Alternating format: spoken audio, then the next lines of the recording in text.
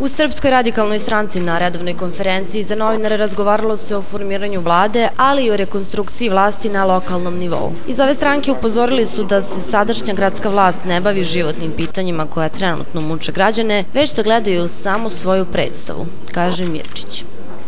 U gradu Novom Sadu imate nešto što do sada u istoriji ovog grada nije bilo, a to je da predsjednik grada razgovara sa njegovim zamenikom i da je to vez dana. Umeđu vremenu radnici javnih komunalnih preduzeća ne primaju redovno platu, prinuđeni su da se za svoja prava bore tako što će obustavljati rad, tako što neće se iznositi smeće redovno, tako što nema redovne isporuke vode, neće biti i drugih komunalnih i javnih usluga. Ništa bolje nije u celoj zemlji, gde god da je ova stranka na vlasti, kaže Mirčić. Sve se svodi na nešto što je već od ranije najavljivano i nešto što se već vidi. A to je upravo rekonstrukcija vlade, čiji cilj i delovanje ide u pravcu predaje i prodaje, upozorava on predaje i prodaje. Prodaje će biti Telekoma, elektroprivrede, pripremit će se preko novog ministra za lokalnu samupravu javna i komunalna preduzeća za prodaju, kako bi se nabavilo ili kako bi se obezbedilo tih 3 ili